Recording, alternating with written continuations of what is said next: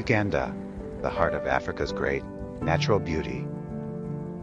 But in Uganda, children put themselves in danger as they embark on daily trips transporting the water they need to survive.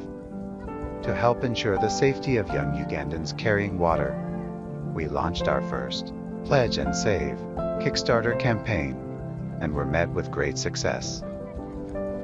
The 509 jerrycan bags funded by our backers were delivered to children to Nguyu, Uganda, to help them more easily carry their jerry cans.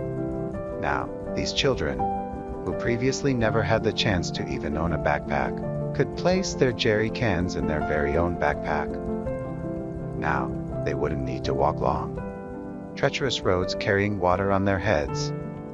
Today, the children of Uganda are using the jerrycan bags as backpacks for school, Good. while they share the road with automobiles.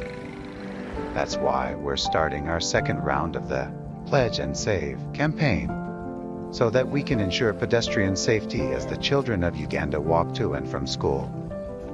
Our jerry bag backpacks will ensure the safety of not only our backers, but for children all around the world.